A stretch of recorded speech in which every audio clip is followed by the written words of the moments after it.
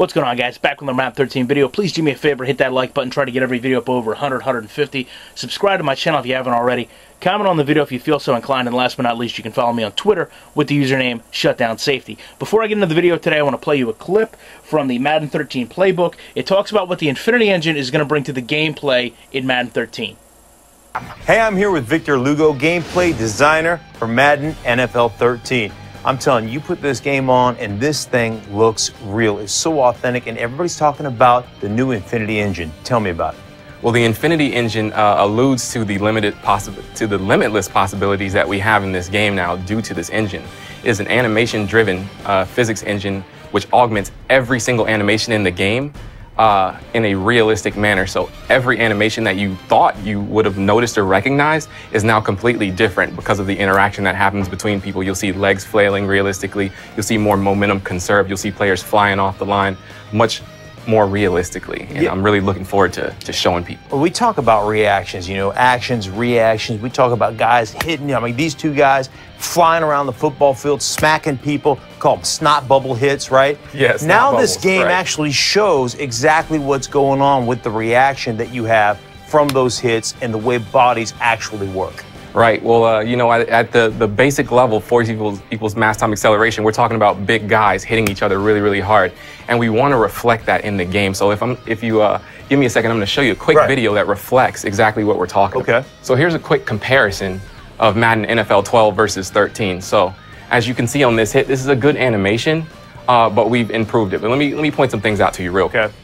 So as you see these guys hit each other, you notice that there's an invisible wall here who kind of stops, and we've lined them up really well, but they kind of don't stop. Look at the line that the guy's standing on when he falls. Right. Also, you'll observe that this leg goes through, and you'll observe that the arms actually interpenetrate as well. Now let's look at Madden NFL 13. This guy's flying way over here. Right. You can see the momentum actually that didn't happen across before. the screen. Right. Exactly. So momentum is conserved as it always should be. He's going to fly way over here. Look at that leg didn't go through. He's pushing that leg. Right. That's exactly what should happen.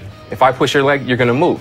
Same with the arm. It no longer goes through. So that's the type of realism and that's the type of variety that we're going to carry over to all of our plays and all of our interactions that happen in the game. And that's going to make it really, really emergent and feel really organic and, and alive. Okay, so there you basically saw things that have plagued this franchise forever. He talked about the invisible wall that comes up when an animation starts, the leg and arm shifting that we've all spoke about, but most importantly, he talks about the Infinity Engine ridding the game of that. He says that this no longer has a situation where the arm and the leg go through, momentum gets carried, and most importantly, he says that that's the type of realism and variety that we are going to carry over to all our plays and all of our interactions that happen in the game. And you know what? It's very important for you to realize that when people watch these videos, they do so to make a determination of whether they're going to purchase the game or not. And they take those videos as factual as they can because if nothing else, they're being used to promote the game. So as I play this for you at speed, I just want you to take a note of what exactly happens here in my online franchise when Jonathan Vilma goes through an interaction between Darryl Tapp and a lineman. These two players morph through each other 100%. There is no animation that the game has to signify a broken interaction between Tapp, Vilma, and the left tackle. So the only thing it can do is shift my two linebackers through each other. And what happens in this animation shift is Tapp is actually forcing the offensive lineman back, the tackle there, into the guard. And what this does is basically create an untouched lane that I can go through. And even though the ball is ironically thrown immediately before I get to the quarterback, I want you to just see how flawed something like this is when you still have warping and shifting in the game. You see the left guard is actually responsible for Vilma because he recognizes him right there with procedural awareness, which I like.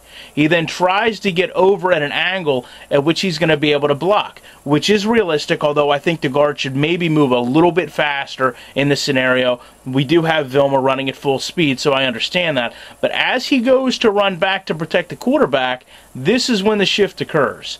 And this is what sends the players all out of order with each other. And I want you to notice that all these players do shift through each other. When that tackle goes back, he shifts into that left guard.